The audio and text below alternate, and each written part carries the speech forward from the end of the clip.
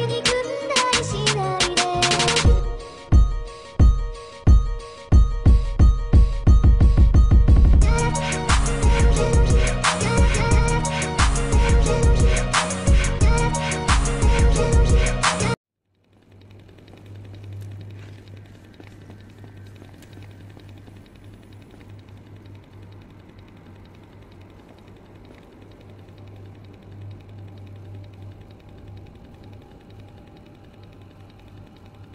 We could have been a good couple. We could have had something special. But you one crazy ass bitch.